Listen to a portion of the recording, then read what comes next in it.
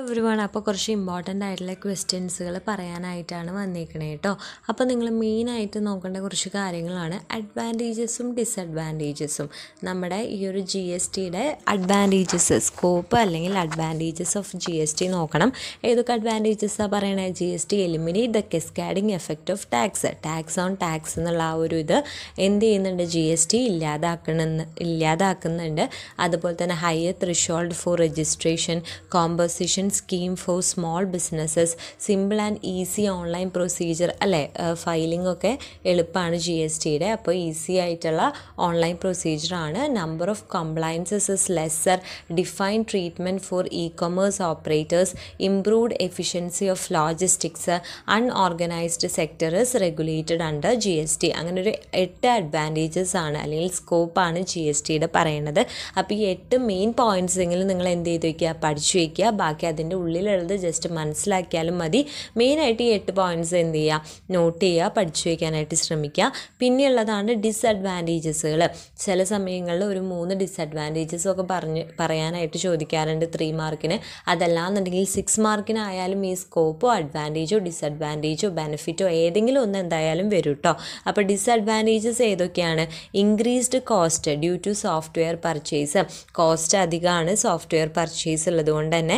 അതുപോലെ തന്നെ being G S C G S T compliant G S T will mean an increase in operational cost G S T came into effect in the middle of financial year S M Es will have a higher tax burden tax burden അങ്ങനെ ഒരു അഞ്ച് disadvantages ആണ് G S ടിയുടെ പറയണത് കേട്ടോ. അപ്പോൾ അഡ്വാന്റേജസും ഡിസഡ്വാന്റേജസും നോക്കുക. അടുത്തത് ബെനിഫിറ്റുകൾ എന്തൊക്കെ ബെനിഫിറ്റ്സ് ആണ് ജി എസ് ടി കൊണ്ടുവരുന്നത് എന്നാണ്. Benefits of G S T to citizen സിറ്റീസന് വേണ്ടിയിട്ട് ജി എസ് ടി കൊടുക്കുന്ന ബെനിഫിറ്റുകൾ എന്തൊക്കെയാണ്? Simpler tax system tax system കുറച്ചുകൂടി സിമ്പിളാക്കുന്നു അതുപോലെ തന്നെ cascading effect of price eliminating cascading effect ഇത് നമ്മൾ ജി എസ് ടിയുടെ അഡ്വാന്റേജസിലും പറഞ്ഞൊരു പോയിന്റാണ് uniform price through country country full ഒരൊറ്റ പ്രൈസ് ആവുന്നു. ഇൻക്രീസ് എംപ്ലോയ്മെന്റ് ഓപ്പർച്യൂണിറ്റി എംപ്ലോയീസിന് ഓപ്പർച്യൂണിറ്റി കൂട്ടുന്നു. അത്രയാണ് എന്തുള്ളത്? Benefit of G S T to സിറ്റീസിനുള്ളത് പിന്നെ benefit to trade and interest ട്രേഡിനും ഇൻട്രസ്റ്റിനും കൊടുക്കുന്ന ബെനിഫിറ്റുകൾ എന്തൊക്കെയാണ്? Reduction in multiplicity of tax tax mitigation of cascading കണ്ട? കെസ്കാഡിങ് വീണ്ടും വീണ്ടും എടുത്തു പറയുന്നുണ്ട്. More efficient citizens of tax especially for export development of common national market simpler tax regime favour rates and exemptions ഇനി പറയുന്നതാണ് ബെനിഫിറ്റ്സ് ടു ഗവൺമെന്റിന് G S T കാരണം ഗവൺമെന്റിനും കുറച്ച് ബെനിഫിറ്റ്സുകൾ കിട്ടുന്നുണ്ട്. എന്തൊക്കെയാണ്? Boost foreign investment foreign investment കൂട്ടാനായിട്ട് സഹായിക്കുന്നുണ്ട്. അതുപോലെ തന്നെ under make in India campaign boost export manufacturing activity more employment opportunity reduce poverty increase G D P growth improving overall investment climate in the country development of state uniform S G S T and G C G S T to reduce incentive for tax evasion improve revenue collection efficient use of resources ഇത്ര ബെനിഫിറ്റുകളാണ് എന്തിനൊക്കെ കൊടുക്കുന്നത്? ഗവൺമെന്റിന് G S T കാരണം കൊണ്ട് ഉണ്ടാകുന്ന ബെനിഫിറ്റുകൾ അപ്പോൾ എന്തായാലും അഡ്വാന്റേജസ് അഡ്വാന്റേജസിന് നമ്മൾ സ്കോപ്പ് എന്ന് കൂടി പറയുന്നുണ്ട്. അപ്പോൾ അഡ്വാന്റേജസ് നോക്കണം ഡിസഡ്വാന്റേജസ് നോക്കണം. അതുപോലെ തന്നെ നോക്കേണ്ട ഒന്നാണ് ബെനിഫിറ്റുകൾ എന്തൊക്കെ ബെനിഫിറ്റുകളാണ് കൊടുക്കുന്നതെന്ന്. പിന്നെ പറയുന്നത് rate of G S T കുറച്ച് റേറ്റുകൾ പറയുന്നുണ്ട്. എന്തൊക്കെ റേറ്റുകളാണ് ബസ്സുകൾ പറയുന്നുണ്ട്. അതായത് എക്സംഷൻ ഉള്ള കുറച്ച് കേസസ് ഉണ്ട്. ഒട്ടും ടാക്സ് ഇല്ലാത്ത കുറച്ച് എന്തൊക്കെയാണ്? Farm product live animals live fish egg honey puja articles hearing aids state pencils ഇങ്ങനെ കുറച്ച് കാറ്റഗറി ഓഫ് ഐറ്റംസിന് എന്തില്ല. എക്സംപ്റ്റഡ് ഗുഡ്സ് ആണ്. അവർക്ക് ടാക്സ് ഇല്ല. അല്ലെങ്കിൽ ജി എസ് ടി ഇല്ല. പിന്നെ taxable at rate of zero point twenty five two five percentage zero point two five percentage tax rate വരുന്നത് ഇതിനൊക്കെയാണ് diamond precious stones semi precious stones അങ്ങനത്തെ കുറച്ച് സാധനത്തിനൊക്കെ ഈ ഒരു zero point two five percentage ആണ് tax വരുന്നത്.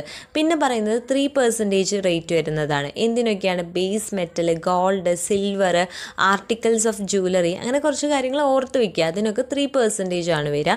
അതുപോലെ തന്നെ five percentage ഇതിനൊക്കെയാണ് fish frozen or dried flour meals fish milk and cream concentrated vegetables frozen grapes nuts spices അതിനൊക്കെ ഫൈവ് പെർസെന്റേജ് റേറ്റ് ആണ് വരുന്നത്. പിന്നെ ട്വൽവ് പെർസെന്റേജ് ആണ് പറയുന്നത്. Twelve percentage ഇതിനൊക്കെയാണ് fruit pulp fruit based drinks marble and travertine blocks granite block oils fat ഇതിനൊക്കെ twelve percentage rate ആണ്. അതുപോലെ പിന്നെ പറയുന്നതാണ് എയ്റ്റീൻ പെർസെന്റേജ് എയ്റ്റീൻ പെർസെന്റേജ് എന്താണ്? മെജോറിറ്റി ഓഫ് സപ്ലൈസും മെജോറിറ്റി ആയിട്ടുള്ള സപ്ലൈസും അതായത് കൂടുതലായിട്ടും ഗുഡ്സ് വരുന്നത് എത്രയാണ്? ഈ ഒരു എയ്റ്റി പെർസെന്റേജിലാണ് വരാറ്. അതുപോലെ taxable at rate of twenty eight percentage ഏതൊക്കെയാണ്? പെയിന്റ് വാർണിഷുകൾ പാൻ മസാല നോൺ ആൽക്കഹോളിക് ബീവറേജുകൾ ടൊബാക്കോസ് അൺമാനുഫാക്ചർഡ് ടൊബാക്കോസ് ഇതിനൊക്കെ ട്വന്റി എയ്റ്റ് പെർസെന്റേജോളം ടാക്സ് റേറ്റ് വരുന്നുണ്ട്.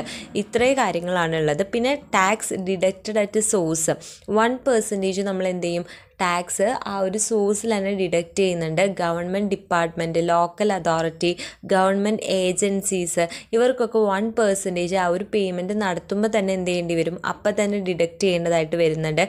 Tax collected at source two percentage ആണ് കേട്ടോ അപ്പോൾ tax deducted at source one പെർസെന്റേജും tax deducted at source എത്രയാണ്? ടു പെർസെന്റേജും ആണ്. ഇത്ര കാര്യങ്ങളാണ്. പിന്നെ കോമ്പോസിറ്റ് ടാക്സ് പറയുന്നുണ്ട്. വൺ പെർസെന്റേജ് ആണ് കോമ്പോസിറ്റ് ടാക്സിന് വരുന്നത്.